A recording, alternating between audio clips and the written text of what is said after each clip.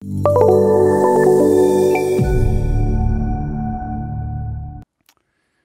thing that's happening right now is that uh, all of a sudden, old traditions that we worked with for a long time, that were valid for a long time, are being reversed. One example is the car business, Tesla and now Toyota. I think it's Toyota as the example, to where they all of a sudden said, okay, we're getting into electric cars because that is the future. It's painful to realize this after you have all these big gas guzzling BMWs.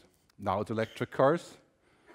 So these companies have said, what we're going to do is we're going to publish all the patents, all the trademarks that we have, and we're going to give them away to people who want to build batteries and electric cars. Because, and this is very American, of course, the rising tide floats all boats.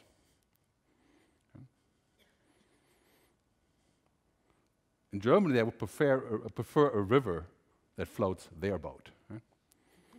It's just a comparison of culture, of how we look at things. Right? So now this, these people have reversed. They have spent billions of dollars on, on patents to come up with better batteries. Every month there's a new innovation.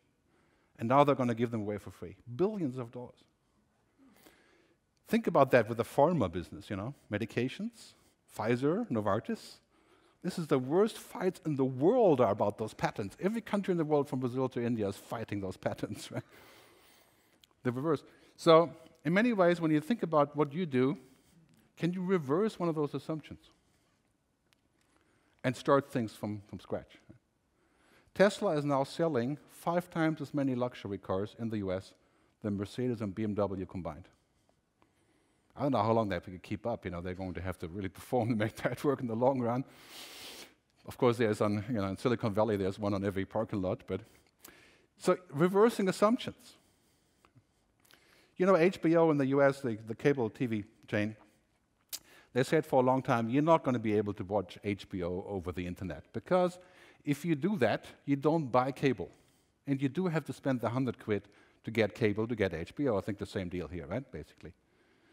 Now, four weeks, and we discussed, I, I discussed with all these guys years ago the, the fallacy of this idea that you can coerce people because you know what they do is they just find the movie somewhere else. It's not hard.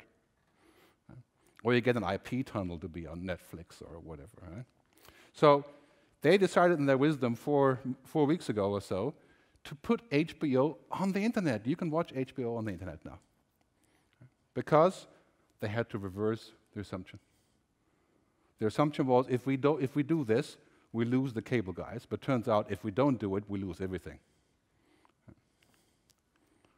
And this is the thing about beliefs and ethics. Sometimes it's good to take a step back and say, if I didn't believe this, what would I do? If I didn't believe this was so true, could I find something that is actually happening? This is a very hard thing to do because it splits your mind in two halves thinking about what could be if you believed it to be different.